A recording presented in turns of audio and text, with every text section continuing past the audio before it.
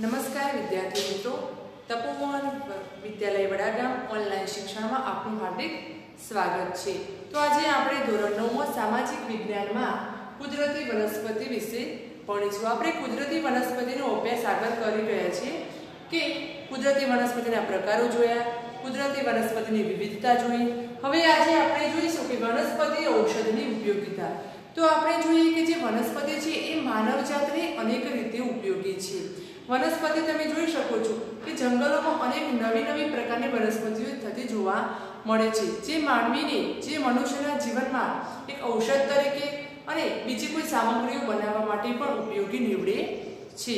આપણે જોઈએ કે જંગલોમાંથી જે મળતું ઇમારતી લાકડું છે શાક સાલ અને જે ઇમારતી લાકડું જે ફર્નિચર બનાવવા માટે કામ લાગે છે, જેનો ઉપયોગ ફર્નિચર બનાવવા માટે થતો હોય છે. હવે જોઈએ કે સુંદરવનમાંથી. સુંદરવનમાંથી જે સુંદરીનું વૃક્ષ હોય છે, એના લાકડામાંથી હોડીઓ બનાવવામાં આવે છે. હવે જોઈએ કે હિમાલયના ઠંડા પ્રદેશો. તો આપણે ગઈકાલે વાત કરી હતી, હિમાલયના ઠંડા પ્રદેશોમાં કઈ વનસ્પતિ થાય છે? તો હિમાલયના ઠંડા પ્રદેશોમાં જોઈએ તો દેવદાર અને ચીડ જેવા વૃક્ષો જેવી વનસ્પતિ થતી હોય છે. તો આ દેવદાર અને ચીડના વૃક્ષમાંથી જોઈએ આપણે તો શું બનતું હોય છે? જે રમત ગમતના સાધનો, ચા અને દવાના પેકિંગની પેટીઓ પેટીઓ એટલે કે એના માટેના ખોખા બનાવવામાં આવે. છે, જે ખોખામાં જે દવા પેકિંગ કરવાની હોય છે તેવા ખોખા બનાવવા માટે આ દેવદાર અને ચીડનું વૃક્ષ ઉપયોગી નીવડે. છે, ચાનું પેકિંગ કરવા માટે પણ આ દેવદાર અને ચીડના વૃક્ષોની મદદ લેવી પડે. છે, હવે જોઈએ કે ચીડના રસમાંથી જે દેવદાર અને ચીડ છે વનસ્પતિ. એમાં જે ચીડ વનસ્પતિ છે, તેના રસમાંથી ટર્પેન્ટાઇન બને છે.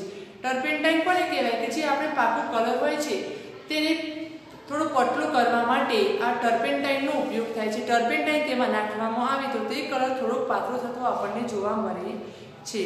બીજું છે ચંદન. આપણે જે કે ચંદન, ચંદનનું લાકડું થોડું પ્રમાણમાં, બીજી વનસ્પતિના પ્રમાણમાં થોડું મોંઘું હોય છે. જેના ચંદનમાંથી સુગંધિત તેલ બને છે. અને બીજી કોઈ વસ્તુ હોય તો સૌંદર્યવર્ધક બનાવટનું જે સૌંદર્યવર્ધક બનાવટનું છે, સૌંદર્ય માટે જે ઉપયોગી છે, તે ચંદનના લાકડામાંથી બનતી જોવા મળે છે.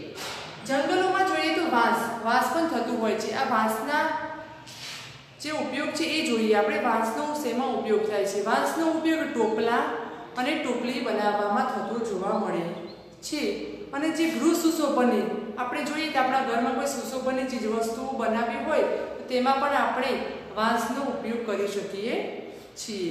જેમાંથી રમકડા પણ બની શકે છે. હવે આપણે જોઈશું કે આ જે વનસ્પતિ છે, એ આપણને અનેક ઔષધીય રીતે પણ ઉપયોગી છે. બીજું જોઈએ તો જંગલોમાં લાખ રાર બીજું છે મધ, નેતર અને ગુંદર જેવી પેદાશો પણ આપણને મળી રહી છે. એવું નથી કે જંગલોમાં થતી વનસ્પતિ કોઈ પણ એક જ પેદાશ પૂરી પાડતી હોય.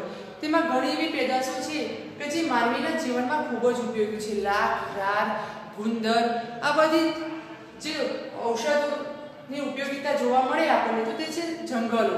જંગલોમાંથી આપણને અનેક વનસ્પતિ અને ઔષધિ મળી રહે છે. હવે આપણે જોઈશું વનસ્પતિ ઔષધની ઉપયોગિતા. તો જોઈએ કે વનસ્પતિ છે અને સામેની ઔષધીય ઉપયોગિતા છે. તો આપણે જોઈએ કે પહેલી છે સર્પબંધા. આ સર્પબંધા એક વનસ્પતિ છે.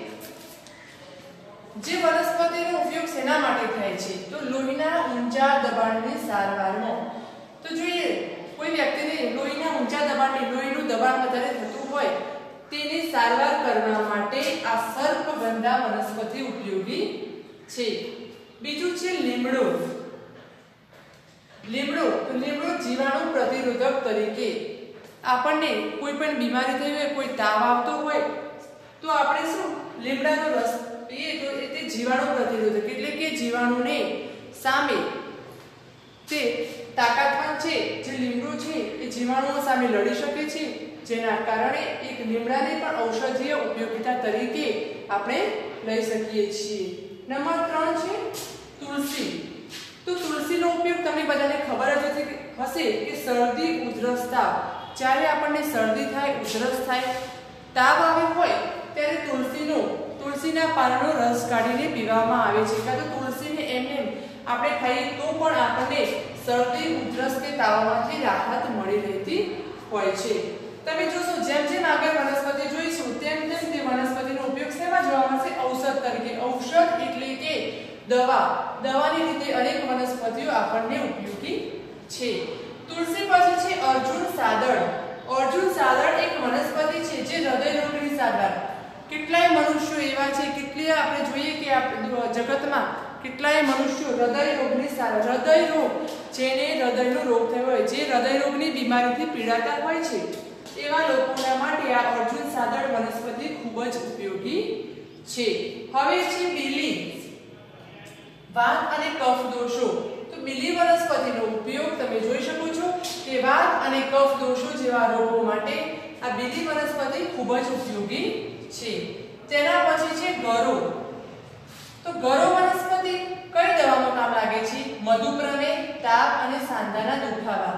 પ્રથમ તો આપણે એ જોઈએ કે મધુપ્રમેહ એટલે શું? મધુપ્રમેહ એટલે કે આપણે ડોક્ટરની ભાષામાં કહી શકીએ જે અત્યારે ડાયાબિટીસ છે, એનું પ્રમાણ અત્યારેના સમયમાં ખૂબ જ મોટા પ્રમાણમાં આપણને જોવા મળે છે.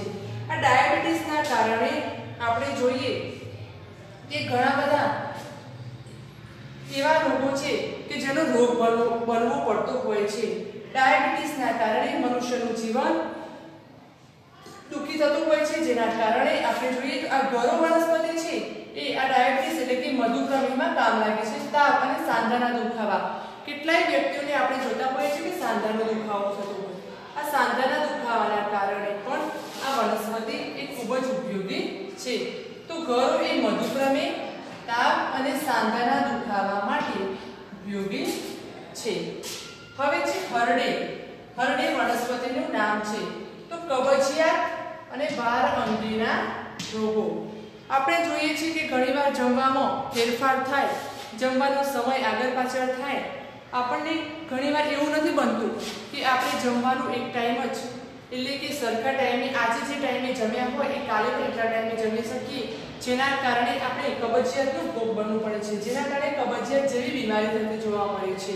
બીજું છે બારંગીના રોગો. દાખલા, આપણે જોઈએ કે કેટલાયના વારંગીના રોગો. વાર અંગેની તકલીફ જોવા મળે છે. તો વાર તો કેટલાકને એવા છે કે માથાના વાળ અમુક સમયે ખરી પડતા હોય છે. વાળ જે હોય તેમાં એનું પ્રમાણ ધીમે ધીમે ઓછું થતું જોવા મળે છે. તો આ કબજિયાત અને જે વાર અંગેના જે રોગો છે, એને ઘટાડવા માટે કઈ વનસ્પતિ છે? હરડી વનસ્પતિ એના માટે ખૂબ જ ઉપયોગી છે. હરડી પછી છે આમળા. આમળા તમે બધા આમળા વિશે તો જાણતા જ હશો. એનો ઉપયોગ છે વાયુ પિત્તને દૂર કરે અને પાચન. એટલે કે તમે જે ખોરાક લઈ રહ્યા છો, જે ખોરાકનું પાચન કરો છો, એ ખોરાકનું પાચન ખૂબ જ સારી રીતે થઈ શકે. તે માટે આપણને આમળા ખૂબ જ ઉપયોગી છે. કોઈ પણ ખોરાક હોય, એનું પચન ન થતું હોય, અને જો તમે આમળાનું પાચન, આમળા ખાઓ, તો એ ખોરાક સારી રીતે એવો પચી શકે છે. આ માટે આમળા એ વાયુ પિત્તને દૂર કરે છે અને પાચકમાં પણ ઉપયોગી નીવડે છે. છેલ્લું છે કરંજ. તો કરંજ વનસ્પતિ, ચામડીના અને દાંત પેઢાના રોગો. કરંજ વનસ્પતિ એવી છે કે ચામડીના. હવે આપણે જોઈ શકીએ છીએ કે દરેક મનુષ્યને ચામડીનો એક સરખો રોગ હોતો નથી. ચામડીમાં પણ અલગ અલગ રોગો જોવા મળે છે. કેટલાય મનુષ્યો એવા છે જગતમાં કે જે ચામડીના રોગોથી પીડાતા હોય છે. આવા ચામડીના રોગો માટે એક વનસ્પતિ છે કરંજ. આ વનસ્પતિ એ ચામડીના રોગોને દૂર કરતી હોય છે. અને છે દાંત પેઢાના રોગો. તો દાંત પેઢાના રોગો એટલે કે કેટલાક દાંતની જે પેઢા હોય છે, તે એકદમ નબળા પડી ગયા હોય છે. દાંત પેઢાના રોગોથી કેટલાક પીડાતા હોય છે, જેના કારણે આ કરંજ વનસ્પતિ છે એ એના માટે ખૂબ જ ઉપયોગી છે. કરંજ ચામડીના અને દાંત પેઢાના રોગો માટે ઉપયોગી છે. તો આપણે જોઈએ કે વનસ્પતિ ઔષધની ઉપયોગિતા, એટલે કે વનસ્પતિ આપણને ઔષધની રીતે પણ ખૂબ જ ઉપયોગી છે. અલગ અલગ વનસ્પતિના પ્રકારો જોયા અને કઈ વનસ્પતિ કઈ બીમારી માટે, કઈ સારવાર માટે તેના વિશે આપણે માહિતી મેળવી. સર્પગંધા હોય તો લોહીના ઊંચા દબાણની સારવાર છે. લીમડો છે તો જીવાણુ પ્રતિરોધક તરીકે. તુલસી છે તો શરદી ઉધરસતા. અર્જુન સાદર તો હૃદય રોગની સારવાર.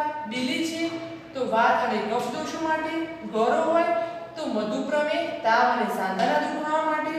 હરડે હોય તો કબજિયાત વાર અંગેના રોગો. આમળા તો વાયુ પિત્તને દૂર કરે અને પાચન શક્તિ માટે. જ્યારે કરજ હોય, કરજ વનસ્પતિ છે એ ચામડીના અને દાંત પેઢાના રોગો માટે ઉપયોગી છે. આ વનસ્પતિના અલગ અલગ જે પ્રકારો છે, તે ઔષધની રીતે ખૂબ જ ઉપયોગી છે. એટલે કે વનસ્પતિનું મનુષ્યના જીવનમાં ઔષધની રીતે પણ એક અલગ જ સ્થાન રહેલું છે. આ ઉપરાંત કેટલીય વનસ્પતિઓ એવી છે કે જે નવી નવી બનાવટો બનાવવામાં ઉપયોગી છે. અવનવી ચીજવસ્તુઓ, અવનવી સુશોભનની ચીજવસ્તુઓ બનાવવામાં પણ આપણને ખૂબ જ ઉપયોગી નીવડે છે. તો તમે જોઈ શકો છો કે જે ખાખરાના પાન છે, એમાંથી પતરારા અને પડિયા બને છે. જે પતરારા અને પડિયાનો ઉપયોગ માનવ જીવનમાં ઘણીવાર જમવા માટે પણ તેનો ઉપયોગ થતો હોય છે. તો આ ખાખરાના જે પાન છે, તેનો ઉપયોગ શેના માટે થાય છે? પતરારા અને પડિયા બનાવવા માટે.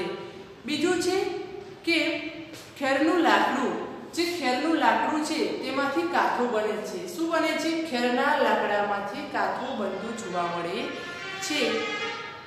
ટીમરૂનું પાન. આપણે જે બીડી છે, તે શેમાંથી બને છે? ટીમરૂના પાનમાંથી. જે નશાયુક્ત જે વસ્તુઓ છે, બીડી, એ બધું શેમાંથી બનતું જોવા મળે છે? ટીમરૂનું પાન હોય, તેમાંથી આપણને બીડીનું બનતી એની બીડીની જે બનાવટ થાય છે, તે ટીમરૂના પાનમાંથી થતી જોવા મળે છે. તો એવી જ રીતે આપણે જોયું કે જંગલોમાં જે વનસ્પતિ છે ઔષધિ રીતે પણ ઉપયોગી છે. બીજું કે ઘરમાં ગૃહ સુશોભનની વસ્તુઓ બનાવવી હોય, કોઈ જરૂરી ચીજવસ્તુઓ, ટોપલા ટોપલી જેવી વસ્તુઓ બનાવવી હોય, એ માટે પણ જંગલો ઉપયોગી છે. જ્યારે ઔષધની રીતે પણ આપણને જંગલોની જે વનસ્પતિ છે, તે આપણને ખૂબ જ ઉપયોગી પુરવાર સાબિત થઈ છે.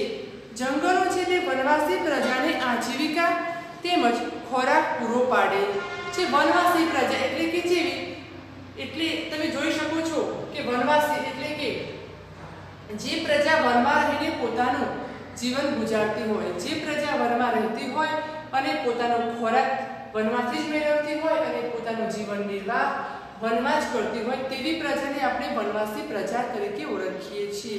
તો આવી જે વનવાસી પ્રજા છે, એમને એક તો રહેવાની સગવડ મળી રહે છે અને બીજું છે કે આજીવિકા અને ખોરાક એમને પૂરો પાડે છે કેટલીય વનસ્પતિમાંથી ખોરાક બનાવવાનો આવી વનવાસી પ્રજા પ્રયત્ન કરે છે અને તેમને ખૂબ જ ઉપયોગી સાબિત થાય છે.